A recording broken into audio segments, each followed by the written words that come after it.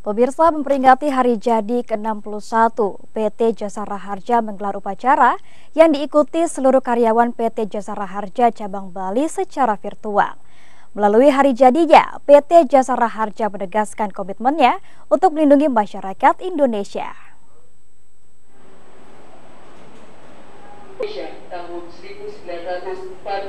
Mengambil tema Hadir Melindungi Indonesia, peringatan hari ulang tahun ke-61 PT Jasara Harja digelar sederhana, diikuti seluruh karyawan PT Jasara Harja cabang Bali secara virtual. Tema yang diusung kali ini merupakan adaptasi dari slogan BUMN, yakni BUMN untuk Indonesia. Dengan konsep ini, masyarakat Indonesia, baik korban kecelakaan di darat, laut, udara, dan angkutan umum, terlindungi asuransi. Usai melaksanakan upacara, jajaran jasa Raharja Cabang Bali melakukan potong tumpeng dan kue serta kegiatan ramah tamah yang berlangsung penuh rasa kekeluargaan. Memaknai hari jadinya, PT Jasa Raharja Cabang Bali berkomitmen untuk memantapkan sinergi dengan mitra kerja dan pemerintah daerah guna memastikan dapat memberikan pelayanan yang terbaik kepada masyarakat.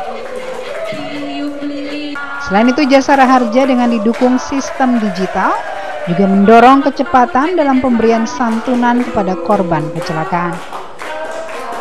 Khusus di Provinsi Bali untuk pemberian santunan korban kecelakaan yang meninggal dunia di tempat kejadian perkara, rata-rata sudah dapat diselesaikan dalam waktu kurang dari 23 jam. Sementara jumlah santunan korban kecelakaan di Bali sepanjang 2021 menurun hingga 15 persen dibandingkan realisasi santunan pada tahun 2020. Hal ini tak lepas karena adanya pemberlakuan pembatasan kegiatan masyarakat atau PPKM di masa pandemi COVID-19. Jasara Harja hadir melindungi Indonesia.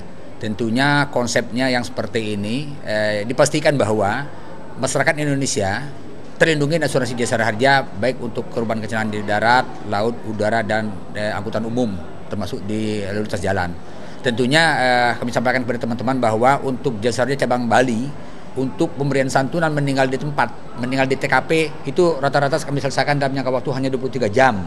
Tentunya ini salah satu pengabdian, pengabdian kami sebagai insan jasa harja kepada masyarakat Indonesia, terutama masyarakat eh, Pulau Bali Sementara itu, Direktur Utama Jasa Raharja Rifan Ahmad Purwantono selaku Inspektur Upacara dalam peringatan HUT ke-61 Jasa Raharja dalam arahannya secara daring menyampaikan apresiasi dan rasa terima kasih kepada seluruh jajarannya atas inisiatif dan tata kelola yang telah dilaksanakan selama ini.